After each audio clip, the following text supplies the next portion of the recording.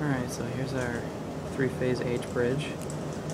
Each phase is displayed here, there, and there. 12 volts applied voltage, and here our PIC is generating our inputs, see those LEDs. And when we turn it on, right here, we should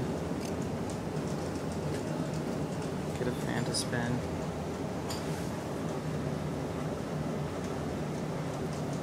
Can slow it down. As you can see here, clicking this button will slow down the LEDs and will slow down the fan. We can also have it change directions and speed back up again using these buttons again.